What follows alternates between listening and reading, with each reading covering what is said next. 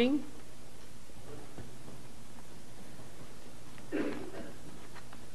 This morning, if I could read upside down, uh, we're reading Matthew 28, verses 19 and 20. Therefore, go and make disciples of all nations, baptizing them in the name of the Father, and of the Son, and of the Holy Spirit, and teaching them to obey everything I have commanded you. And surely I am with you always to the very end of the age. And this is God's Word.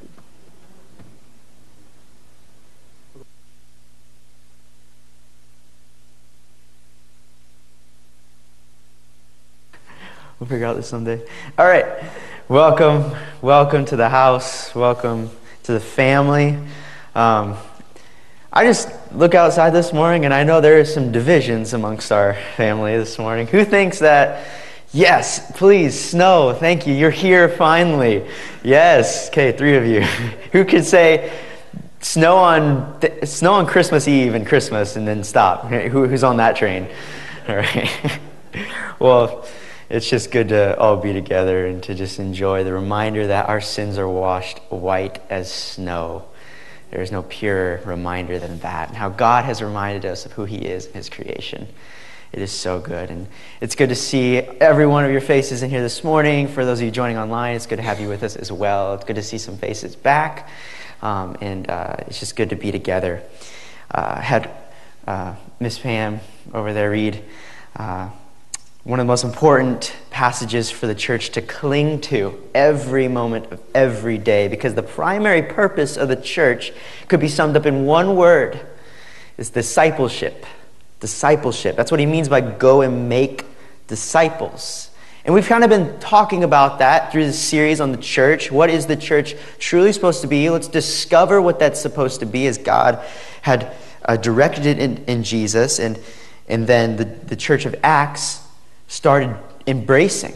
And so, what is there for us to discover, embrace as a church today? It kind of uh, involves us unlearning some things as well in order to learn truer things. And so that's the, that's the first point on your, bull, on your bulletin notes. I, I didn't put it in the slides, and I apologize. But the primary purpose of the church, remember this always, is discipleship. What does that mean?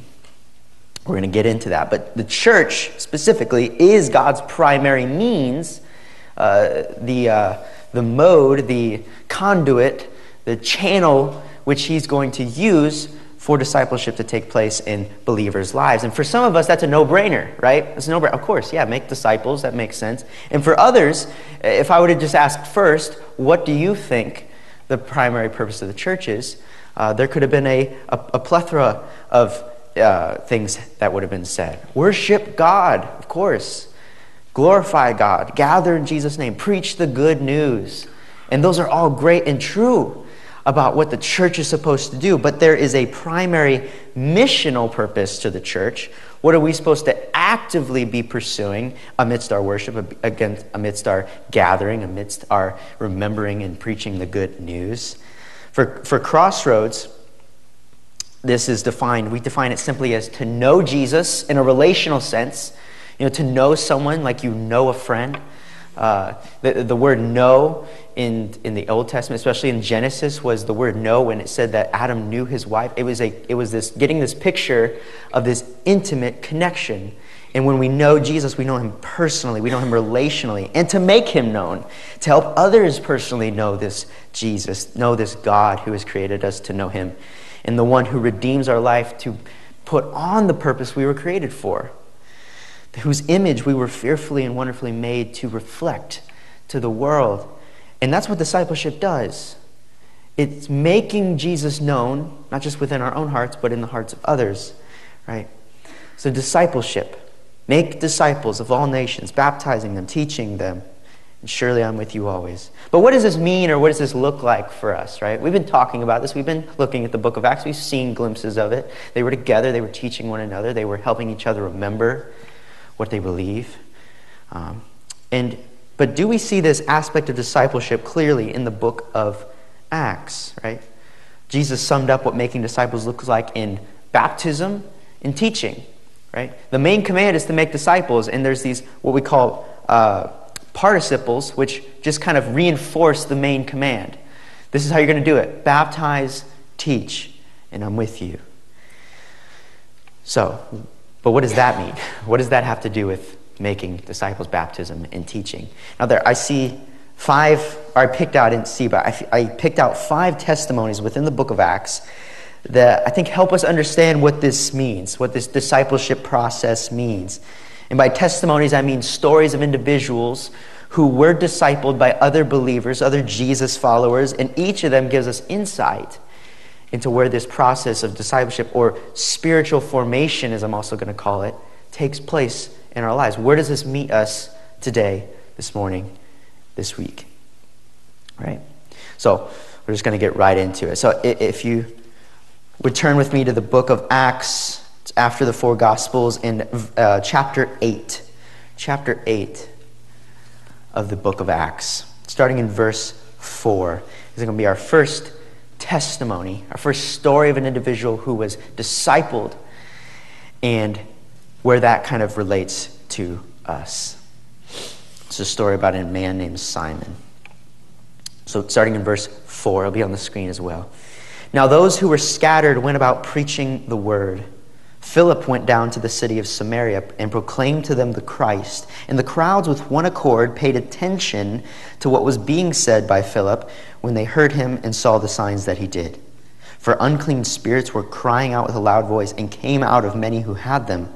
And many who were paralyzed or lame were healed, so that there was much joy in that city.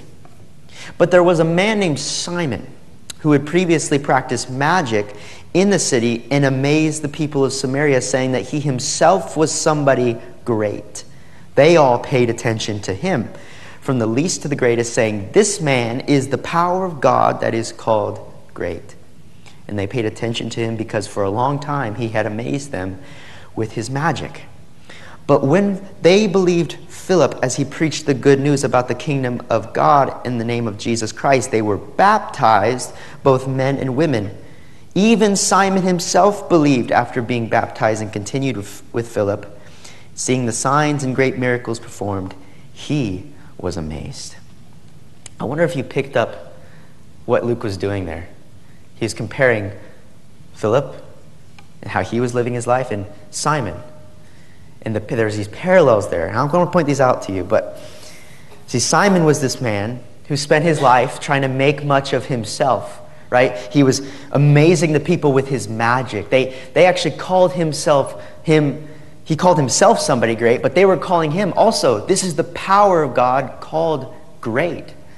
So this man was making his living being somebody great, and it said they paid attention to him because of what he was doing. And then Philip, uh, it's like Simon's story is kind of sandwiched in between Philip and what he was doing, and then what happened when he encountered Philip. He spent his life making much of God. They paid attention to him. They saw the signs that he was doing. They were amazed by him, like they were amazed by Simon, but Simon but Philip was pointing to God, not himself as somebody great. Philip was making God look great. Right? And they believed Philip. It said they were paying attention to Simon, but then they paid attention to Philip. And every one of them that was paying attention to Simon now turned the other way and paid attention to Philip. What is, what is Luke, the writer of Acts, trying to reveal for us here? But I just think it's so beautiful that even Simon himself believed. He was amazed. This man who thought he was great was captivated. There's a clear distinction we see here between making much of self and making much of God with your life. Which one, though, brought more captivating and convincing power? Which one even captivated the one who was captivating others? Right? And, and there's another thing that, as I was looking at this passage, that pointed out to me, and it's, it's, it's also sandwiched in between here, that after Philip had gone to Samaria and he was preaching, and people were being healed and, and demons were being cast out, verse 8 says, So that there was much joy in that city.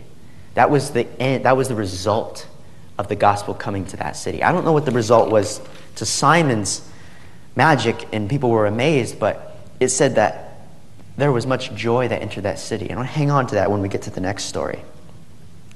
But which, which guy's life brought more convincing, captivating, worshipful power and joyful results to the people?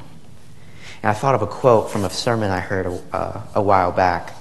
Uh, and John Piper, he's, he's a pastor, preacher, writer, and he says, or he asks, Do you feel more loved by God because he makes much of you? Or because God, at great cost to his son, Jesus, frees you to enjoy making much of him forever? The aim of that question, making much of you or making much of him, has never been to deny that God makes much of us. He does, He does make much of us. The aim, though, has been to help people relocate the bottom of their joy, the decisive foundation of their joy, the base, the basis.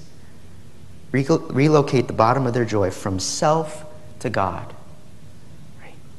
So, does God make much of us, or does He free us to make much, enjoy making much of Him? And, the, found, and the, the aim of that question is to relocate the bottom of our joy. Right?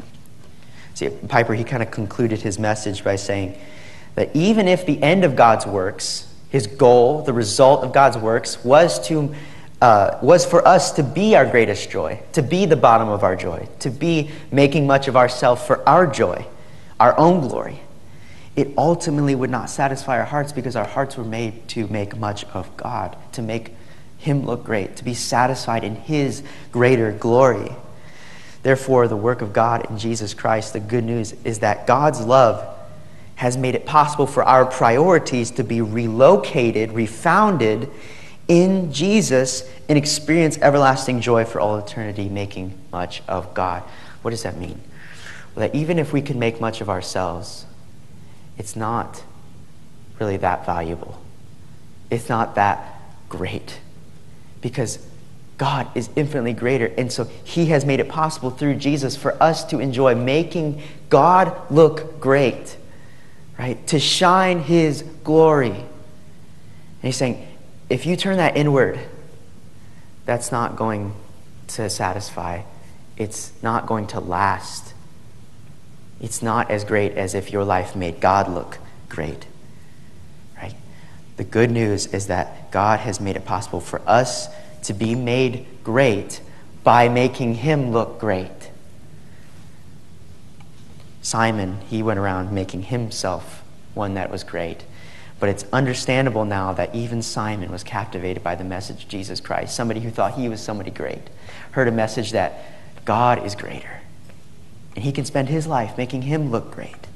That even Simon was convinced in, in Simon, he gave his life to Jesus and he started following him. He left his life of trying to amaze other people to try to amaze people with God's love, with God's greatness. But he still had some learning to do. I'm not going to read it, but the next passage in, in, in, Acts chapter 8 is still going on with Simon. And, and Peter and John come onto the scene, come to Samaria, and they start laying hands on people so that they can receive the Holy Spirit. And then, it, then Luke writes this Now, when Simon saw that the Spirit was given through the laying on of the apostles' hands, he offered them money. Give me this power also, so that anyone whom I lay my hands on may receive the Holy Spirit. And Peter said to him, May your silver perish with you, because you thought you could attain the gift of God with money. Right?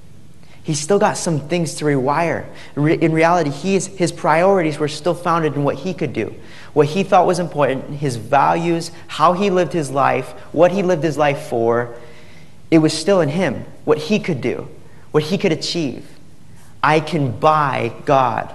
I can buy his love. I can buy his power. I can buy his presence. Holy Spirit, key person in the book of Acts I can buy him. And Peter's saying, He's a gift. You don't buy gifts for yourself if God is trying to give it to you. Say, this is a gift. He's trying to give this to you. Simon's priorities were still founded in what he could do instead of receiving and enjoying and living out of what God had already done and had already wanted to give him. This Holy Spirit is a gift. And this kind of reveals to us our first insight that discipleship, and when I talk about discipleship, I mean this process of becoming, right? Becoming like what? And that's what we're going to talk about. But becoming. Disciple comes from the root word in, in the Greek mathetes, which means to learn. So we're learners, we're learning. It's this process of learning. Learning what? Learning a new way that Jesus came to start. This process of discipleship revol- involves refounding our priorities from self to God. Our priorities, our values, what's important to us, how we live our life, what we live our life for. It goes from being in ourselves, what we can do, what we're about, to being in God, right? And that shifts the the, pur- the, the priorities of our life. It shifts our life becoming about something so much greater than ourselves and what we can do. And so that's what discipleship is. It's this relearning, it's this refounding, it's this, it's this uh, re renewing, re becoming. And our priorities are going from self to God. So, where do we place our priorities? Where do you place your priorities? Where do I place my priorities? Is it in what I can muster by my own means? And glory?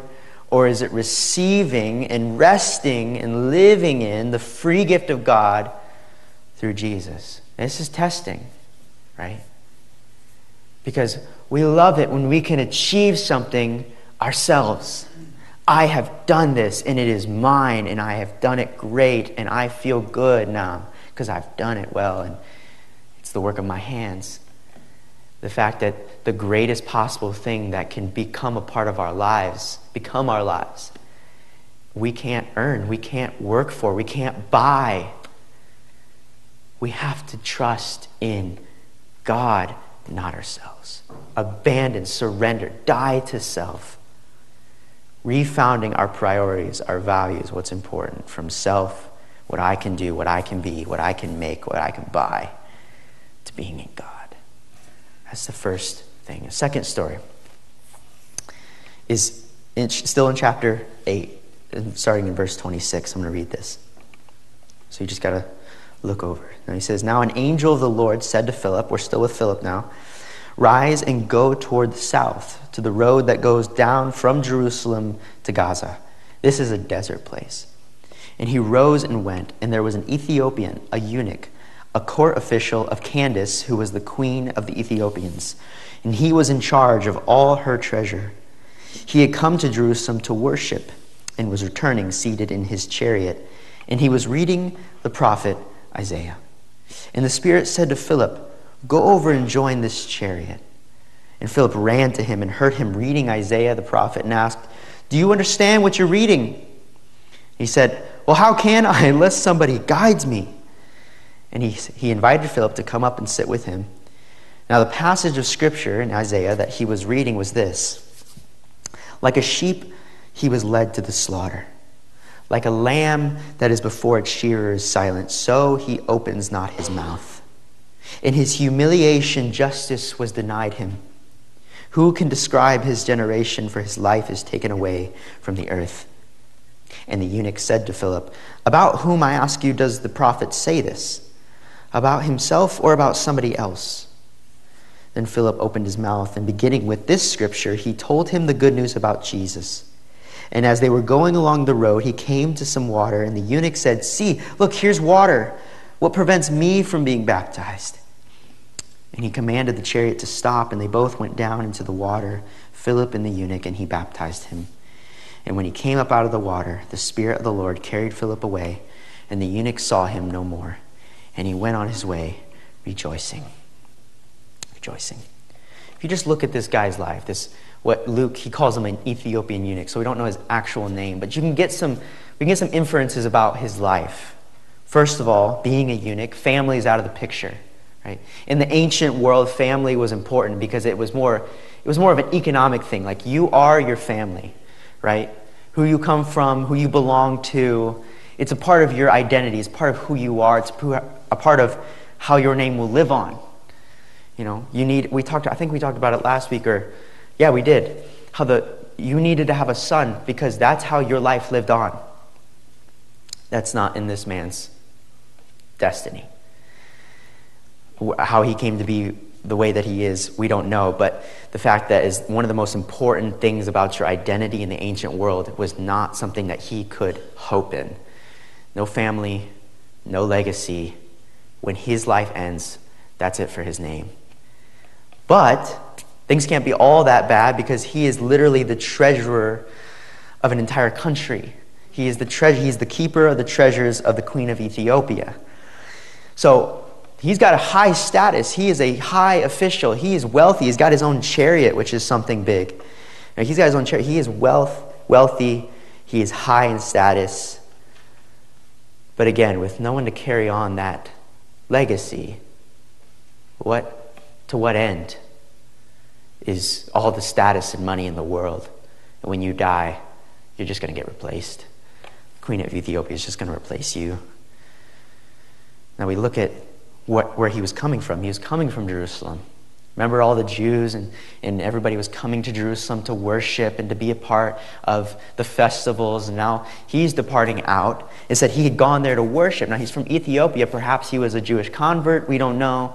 But he's worshiping.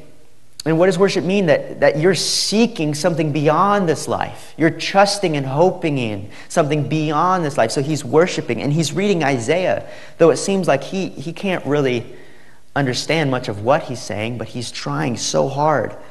What's he doing? He's searching. He's searching. Right? My life is going to end at some point. And all this stuff that I've accumulated, this wealth, I don't have any family. Is there something more that I can hope in?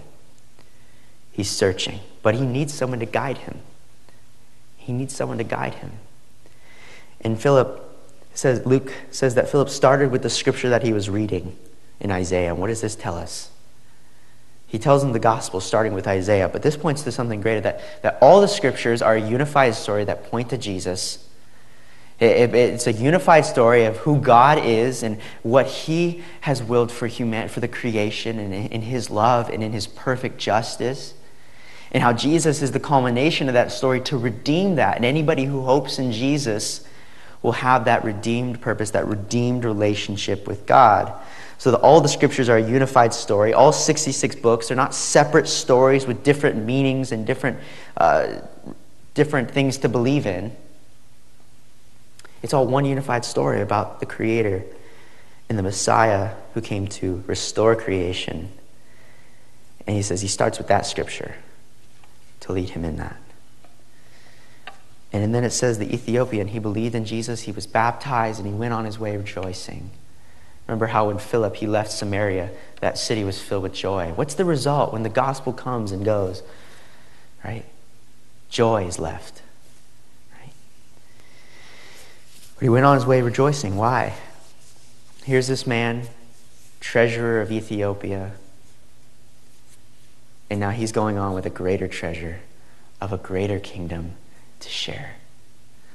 And he says, This is what defines my life. The kingdom of heaven is like a treasure, treasure hidden in a field, which a man found and covered up. Then in his joy, he goes and sells all that he has and buys that field. Matthew 13 44. Say, the treasure of heaven, this gospel, is something worth giving every part of your life to. Giving everything to this treasure, to this purpose. Discipleship, it involves a refounding of our purpose from being in the world to being in God. Discipleship involves refounding, rebasing what we live for, our purpose, what defines us, what gives us value, what gives us legacy an identity from being in the world, what I do, what my family is, what my past is. This guy's probably got a messed up past. But now it's in God, and he's got more joy than anything it could ever describe. Every other purpose in the world every other purpose the world offers cannot compare with the infinite worth and everlasting joy that God offers through Jesus Christ. To receive Him as our perfect purpose, our fullness. Every morning you wake up and you are already filled and full and fully defined in God. No amount of work, right? No amount of status, nothing else in our life can give us more greater purpose. And you wake up and you just know, I don't got to lift a finger today. And I'm fully purposeful and loved. This doesn't make life less worth living in that, well, I, I shouldn't do anything else or I don't have anything else to do because God has already done it all for me. No, this, this makes our purpose renewed in that we can live for His purposes a true joy because it has everlasting fruit. It's not uncertain or, or fading, right? The Ethiopian eunuch, he was like, man, I don't, my, as soon as this is over, I mean, it's over. I don't know where I'm going. I don't know what will become of my life, my name. But now he knows that what he's living for is worth giving it all for, giving his whole life for. He has his identity, his purpose founded fully and completely in God. And that's what he offers us. Jesus offers us. Right? If you're searching, if you're thinking there's got to be more, because this isn't worth, I, I could lose this thing tomorrow and it wouldn't really matter. There's got to be more. There is. I'm going to go into the third story. Now, this is a man we haven't met yet, uh, but he's of vital importance to the Christian faith. And I'm not going to read the whole passage, but I put it on the back of your bulletin notes. It's the story of Saul's conversion, right? Now, Saul, I think we met back in chapter 7 when Stephen was being stoned, it said that Saul was approving of his stoning. He was a Pharisee. He was one who was doing the exact same thing that the Pharisees who killed Jesus did. Was he with all those Pharisees that killed Jesus? We don't know, but he was a man who thought he was standing for the truth of God's word, and he was going around arresting Christians for the gospel, arresting Christians for the name of Jesus, for professing him. He was going around killing Christians for the same thing. In, in, this, in, in chapter 9, we see that Paul, he, or Saul, I'm going to call him Paul because I'm going to end up calling him anyway. Paul, he's eventually called in chapter 11, I think. Because that's his Gentile name, his, his Roman name. He was born in Rome, but he's a Jew um, by ethnicity. His Jewish name is Saul, but his Roman name is Paul. So I'm going to call him Paul. Okay, thank you. Um, Paul, he's on his way to Damascus under order to go and continue doing the same thing arrest Christians, kill Christians, whatever. And he encounters Jesus in this miraculous moment.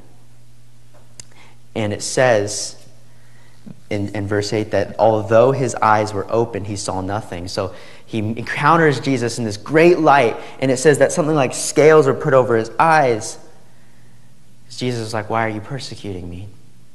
Saul, why are you persecuting me? it says that although his eyes were opened, he saw nothing. And it reminded me of something that Jesus said, and, um, or what John had wrote down as something that Jesus said in his gospel. He said, For judgment I came into this world, that those who do not see may see, and those who see may become blind. And he's speaking to Pharisees in that, in that account, in that interaction. He's saying, You think you know the truth? You think you know God's word? You think you know what God stands for and who he is? but you're blind. You don't see. Me coming into the world and my gospel is going to in, in, uh, virtually blind you because you think you know what's true, but what I am bringing is nothing like you've ever seen or known. Well, Jesus, he says to Paul while he's blinded, he says, Go into the city. There's a man named Ananias. He'll help you see. And he goes in, and, and, then Jesus comes to Ananias, who's in the city, a disciple of Jesus, and he says, Look, there's this guy, Saul, he's going to come to you. You need to help him see. And he's like, What a, Saul, he's the guy that's killing people. You want me to go and you want me to help him? He says, Yes, yes, I want you to do that.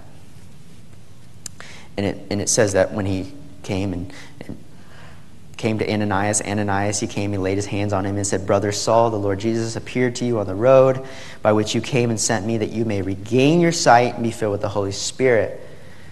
So Paul was blind and he needed someone to help him see.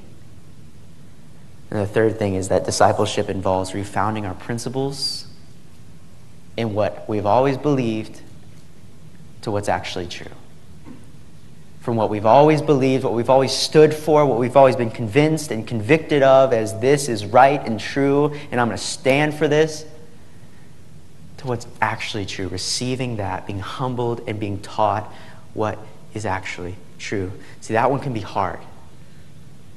Because a lot of us are convinced and founded on what I believe is right, and I'm going to stand for it, and I'm not going to let anybody change my mind. We're convicted of what we think is righteous truth. We're convinced, we're not convinced otherwise until it's, it's, it's exposed. But we need to always keep an open heart, open mind, humbled, hands open, knees to the floor, saying, How could I ever know what's right? Fully, completely hearts open, minds open to new realities God's want, God wants to challenge our understanding of life with through His Word. Saul, Paul, whatever, was convinced. The Pharisees who killed Jesus were convinced, but they were looking at the very one who is God. They were blind.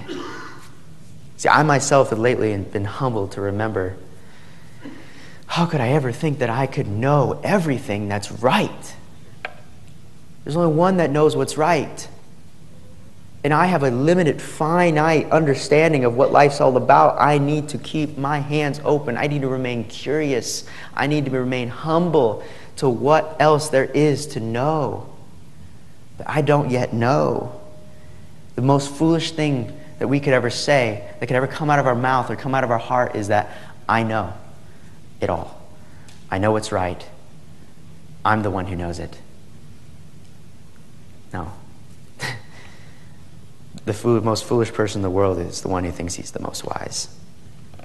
I think that's something we should always remember. But the, probably the most wise person is the one that says, I'm open to whatever the Lord, God, Creator, all wise, knows has made right, has made true, and he wants to reveal. I'm going to remain open to that. And Saul, he needed to do some, a lot of heart work, a lot of mind work. He needed to relearn. We talked about this at the guys' uh, relational discipleship, that he probably needed to relearn everything in the scriptures because he had seen it one way. This discipleship, I'm going to move on, but this discipleship thing involves we need to keep an open mind and open heart to what's really true.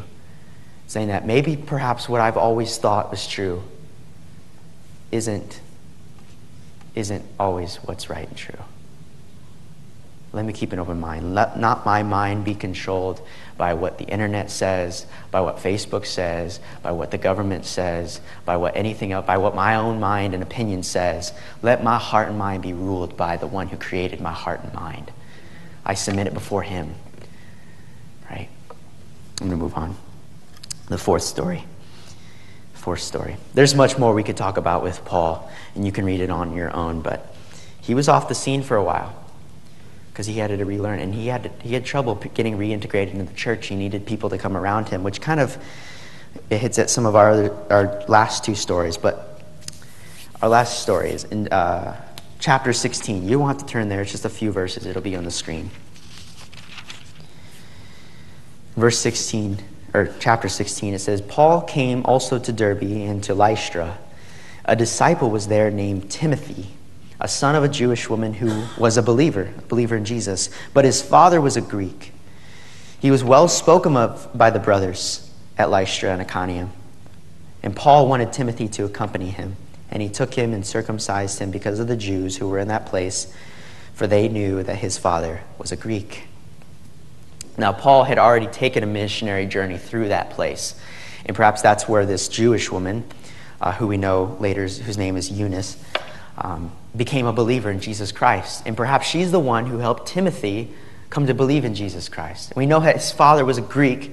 We don't know if he was a part of Timothy's life or not, but we can probably conclude that he wasn't a, a great figure for Timothy's uh, faith in Jesus. wasn't one that led him to believe more in Jesus. But, but we know that uh, Paul, he probably credits Timothy's mom and his grandma for the faith that Timothy has. He writes in his second letter to Timothy, I am reminded of your sincere faith, a faith that dwelt first in your grandmother Lois and your mother Eunice, and now I'm sure dwells in you also. He gives credit to those two ladies for the faith that Timothy has, right? And again, we don't know what happened to his, uh, what, was going on with his father, but these two women, uh, and it says that uh, we perhaps know that Timothy had grown up with the scriptures.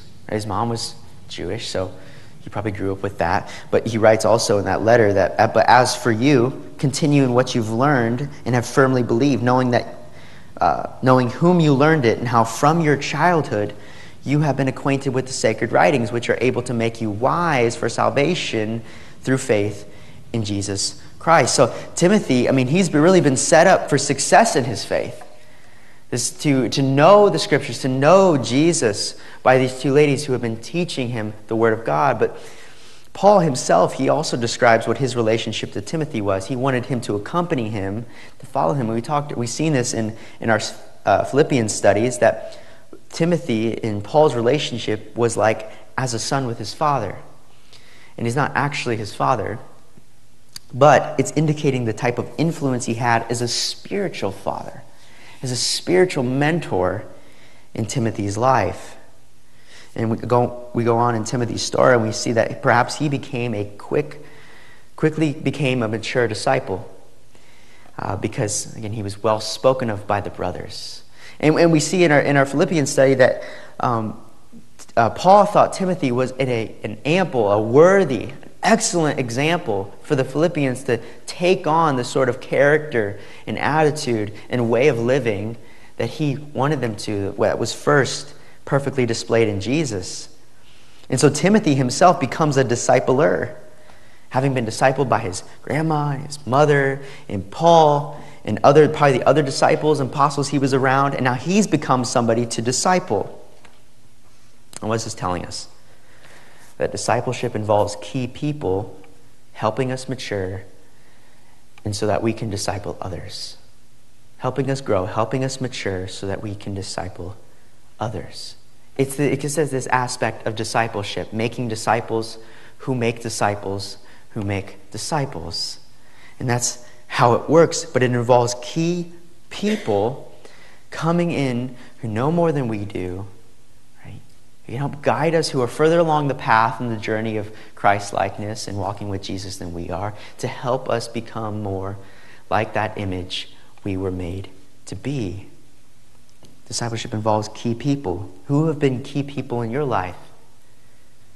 Can you think back over your life and see who were those key people that really helped me understand? Maybe there were direct influence on you. Maybe they weren't. Maybe you just had a quick conversation and it just helped you see things differently.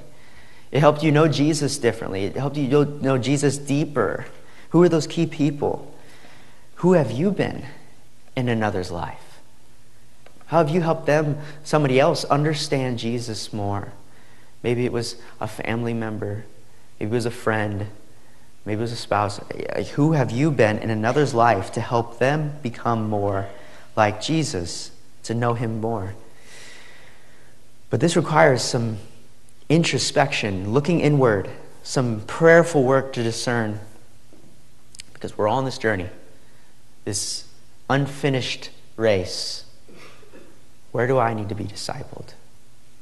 Where have I not yet been made un- like unto Christ? And who am I being led to disciple? Who is God calling me to? like the Spirit and was calling Philip to Samaria. It was calling Philip to the Ethiopian eunuch. Probably led Paul to that place where he was going to call Timothy to follow him. Who are those people that I'm being led to disciple? And uh, a key hint is to see that he's probably calling you to disciple the people that you're closest with first your family, spouse, friends. There are people, key people that he's placed in our lives and he's led our lives to for this discipleship process to take place. Key people, and we're going to see this in, in the last story, but key people, who are those people that have discipled you? Where are you still needing to be discipled? And who am I being led to disciple? In the fifth story, um, in chapter 18. Can turn there if you want, it'll be on the screen, but.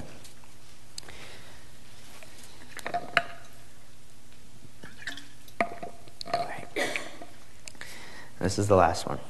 And I think this might, might challenge us deeply. Verse 24. It's a story about a na- man named Apollos. Now, a Jew named Apollos, a native of Alexandria, came to Ephesus. He was an eloquent man, competent in the scriptures. He had been instructed in the way of the Lord, and being fervent in spirit, he spoke and taught accurately the things concerning Jesus, though he only knew the baptism of John. He began to speak boldly in the synagogue. But when Priscilla and Aquila, that's a husband and wife uh, who became believers, when Priscilla and Aquila heard him, they took him aside and explained to him the way of God more accurately. And then, and when he wished to cross to Achaia, the brothers encouraged him and wrote to the disciples to welcome him. And when he arrived, he greatly helped those through grace who through grace had believed. I think I went on a little bit more. But all of these stories, we can kind of see some things. It's almost like there's this progression, right? Simon, he was at this place where he needed some some wires reworked because he he was he came from a very secular place. He did not have any sort of framework for Christianity or Judaism or anything like that. He needed some wires reworked. Now Timothy, I mean, it seemed like he was really set up for success in his faith. I mean, Apollos, if there's at any point in this progression that we might call spiritual maturity, right? Where I'm becoming and coming more like Jesus, just like how I mature biologically, we mature spiritually. It's this interconnectedness of our human nature that God has created to show us the sort of uh, lives that He's called us to. But if there's any, at any point, there's a point of arrival in this progression towards spiritual maturity, it seems as though that Apollos was somebody who nailed it. It said he was eloquent man. He was competent in scriptures. That he knew them like the back of his hand. He was instructed in the way of the Lord. He spoke and taught accurately the things concerning Jesus. That word accurately almost could be translated exactly. He, tra- he, he taught almost exactly what needed to be taught.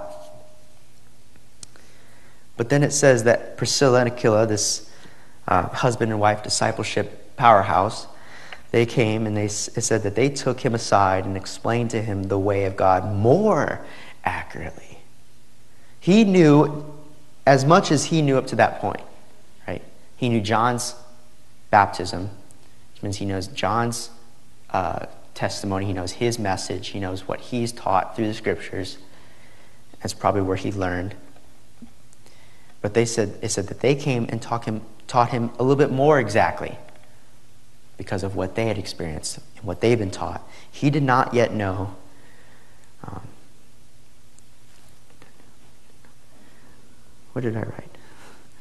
I didn't edit that part. But they, he didn't know what he didn't know, basically. Right? He knew as much as he knew, which was exactly what he was able to teach but he needed to know a little bit more. He still needed to progress in what he understood about his faith and about God and about the, and about the gospel. See, if anybody looks like they would have ever arrived at this point of spiritual maturity, no longer needing to learn anymore, grow anymore, go any deeper, it looked like it was Apollos. And there's also another man who, if, if there was anybody who didn't need to grow anymore, didn't need to go deeper anymore, didn't need to love more, didn't need to have any more joy, didn't, didn't need to know anything more about how to live this gospel reality, it was probably the Apostle Paul. But he writes in our, in our Philippians um, study, we're going to get to, But he writes this in verse 12 to verse 16. He says, Not that I have already obtained this or am already perfect. He says, I've not gotten there. But I press on to make it my own because Jesus Christ made me his own. Brothers, I do not consider I have made it my own yet. But one thing I do, forgetting what lies behind and straining forward to what lies ahead, I press on toward the goal for the prize of the upward call of God in Christ Jesus. Let those of us who are mature think in this way. And if in anything you think otherwise, God will reveal that also to you. Only let us hold true to what we have attained. He's speaking to this nature of growth and maturity in the call of God, in the life of God. And he says, Look, let uh, those of us who are mature think this way. What way? I've not arrived. Right? That's what maturity looks like. I've not gotten there. I'm not perfect. I have more to know and to know in the mind and know in the heart. He says, if anything you think otherwise, God will quickly let you know that that's not true. I've been experiencing that this week, and almost every week. Look, you, you don't know as much as you think you know, buddy. And I think that should be our, all of our attitude.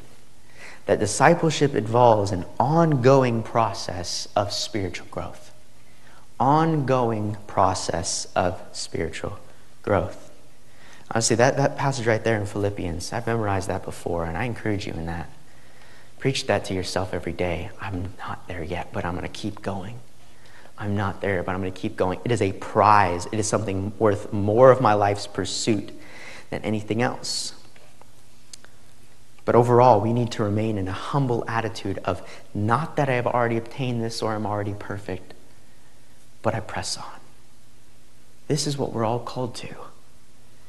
To, to pursue this ongoing process, to remain open to how our Father is guiding our growth where He knows we need it most. Right? We may not know what we need to grow in, but He may send key people along our way to say, to, to look at our life from a different perspective. Right? We may have progressed in some areas too. I may be well in this area, but, I, but there's going to be areas where I need to experience deeper growth. Deeper growth. Now, all of these testimonies clearly involved needed ways to learn the way of Jesus clearer, further from ground zero or from the point that we're at and continue to grow. But the discipleship aspect of teaching was clear. We all need to have a transformed, need to be transformed and shaped into a progressively Christ like image. And we, we have to learn that. We have to be taught that. Um, but where does baptism relate to all this? Where does baptism relate to all this? Uh, we said at the beginning that uh, Jesus kind of sums up what it would look like to be made into a disciple and to make disciples by baptism and teaching. Before I get into that, I want to, I want to share the key point in that discipleship can also be referred to as this spiritual formation. Spiritual formation, in, in note, sentence is the process of being conformed to the image of Christ for the sake of others. A process of being conformed to the image of Jesus for the sake of others. Now, that's not original to me. I learned that in uh, college, and it's from this guy named Dr. Robert Mulholland. He wrote a book on spiritual formation and discipleship. Um, and that is in a concise sentence, what we have all engaged in, have all committed to as we become followers of Jesus Christ a process, a journey, an adventure of being conformed, transformed, taught, reshaped, becoming image of Jesus. As we were created in the beginning to be the image of God, we need to be conformed because we've been conformed to a different image. The image of the world, the different, we've been created in the image of God, but sin has marred that image.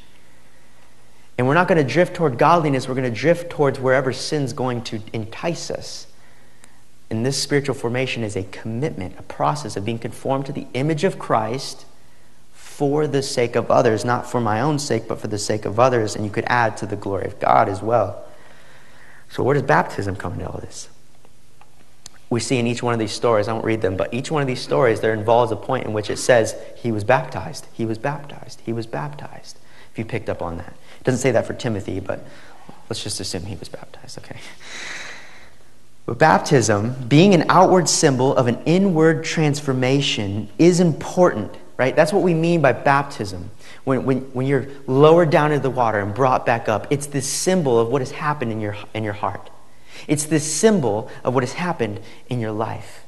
You have died to self and been raised to new life. You've identified with Jesus Christ in his death. And now the life you now live is by faith in the Son of God. He gives you life. So, this outward symbol of an inward transformation is important because it indicates what or who I'm being committed to being transformed into, right? As I now have this new life and I'm going to live in this new way, what is it that I'm going to become? And baptism says, I'm going to become like Jesus. This is who I'm going to identify as. It's a public proclamation of this is who I follow. Apollos knew John's baptism, and, and you, if you read on uh, more in that story, you'll see that Paul came on the scene and baptized them um, in the name of Jesus, Father, Son, and Holy Spirit. Um, but baptism indicates who or what I'm being transformed into. It's a matter of identity transformation. I was once this in my old self my priorities, my purpose, my principles the people I'm around, the people that influence me. What was the fifth P? I don't know where it is. That was people, yeah. People that influenced me. All these factors, that's, that's who made me who I was before. But now I'm committed to my priorities, my purpose, my principles, my people. There was a fourth P, right? Or fifth P. Where's my fifth P? Principles P. Process, that's right. We're in that one, aren't we? but I'm committed to this new way, this new life in Jesus, Jesus' image. Everything around the world is going to offer a, a, a priority, something to live, base your life on, a purpose, something to live your life for, priorities, something to be convicted to to share and to a message to proclaim and to live for. They're all kind of interconnected in people that are going to influence my life, right? If it's not somebody that's godly, it's going to be somebody who's ungodly, right? But now this spirit, this discipleship process, this spiritual formation says, this is where my life's going to go. The aim of spiritual formation or discipleship is to be conformed to the image of Jesus for the sake of others. This involves a refounding of our values, our identity, our truth. It involves key people helping us guide, guide us toward that goal. We see all those people that were involved in the process. That wasn't just exclusive to um, Timothy's story. It was, ex- it was in all those stories you saw. There was a person that encountered them and helped them along the path. And it's a process, it's a lifelong process. Understand you've been committed to a marathon. You've been committed to a marathon. And you don't win a marathon by not running it, not training for it. We gotta, we gotta commit to it. But even in this lifelong process of becoming, we don't quite arrive until we meet the one we were created to reflect face to face. The one in Philippians, uh, Paul, he writes, the one who will transform our lowly body to be like his glorious body by the power that enables him to even subject all things to himself. But that's a process that starts right now. Starts now and lasts forever. The kingdom of heaven comes into our life until we get to that point of glory. It's a process and it begins now. And the church is a means is God's means through which this process of being conformed to the image of Jesus for the sake of others, it's a mouthful, takes place. The church, what we do in here you know, I pray God for strength and wisdom as, as I and as uh, the leaders of this church who have committed to making this a place where Jesus is known and known even deeper through us. Now, our relational discipleship groups, I, I feel, are a huge win for developing this culture of becoming. That we're going to get together, we're going to shape each other, we're going to push and pull each other towards becoming more of what Christ had come to begin and form in us.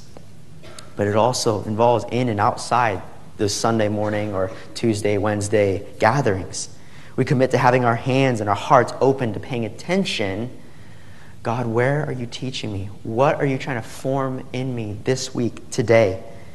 Where are you working on in us, and how are you trying to work through us? Now, I've, I've talked a lot about replacing and refounding our priorities and, and principles and purposes and people, right? But this does not mean that we give up on our relation and our give up on our uh, on our responsibilities with our family and our hobbies and our jobs and, and giving ourselves fully to that. But this means that the only basis of who we are and how we understand and live in the world is Jesus. I can be friends with unbelievers, and we should be. I, I can be committed to my work and giving myself fully to it. I can be committed to my family, making that a very important part of my life.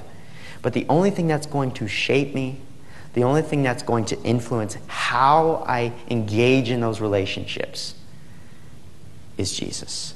Look to Jesus. And this necessitates time devoted to knowing Jesus. What is he like? What does he value? What are his priorities? What is his purpose, his principles? Allowing him to prior and prioritizing his influence. Now, as I close, remember, as we've learned throughout this series, church is a whole way of life because it's not just a Sunday morning, two hour way of life. It is a whole 24 7, 365 way of life until I die because the gospel affects all of life.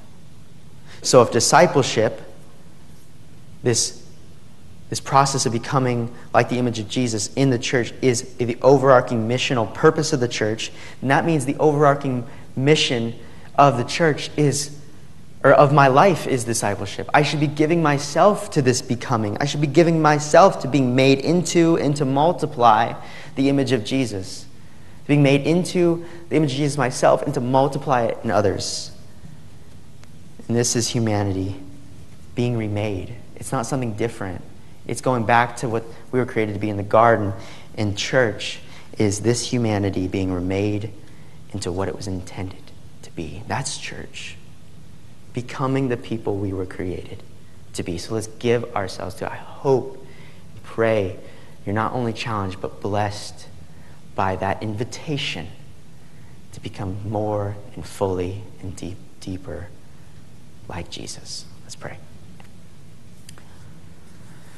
Holy Spirit, we just thank you so much for bringing us together this morning in this beautiful, yet cold, yet wet day. For bringing us into this room to hear your word, to be blessed by the company of one another, to be blessed by the, by the uh, opportunity and gift that it is to worship someone greater than ourselves. To, to be freed to enjoy making much of God forever. Holy Spirit, we just pray that you would pull us deeper into this invitation, into this responsibility, into this gift of new life. Father, would you continue to press on our hearts? the ways in which we are being called to be discipled, to be made more like Jesus, expose ways in which we are not mature, but in also give us strength to attain to what we've already been taught. And Father, press us to the people that you want us to be a Christ like image to.